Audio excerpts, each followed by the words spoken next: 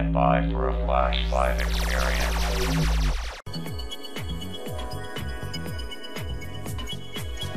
Thank you.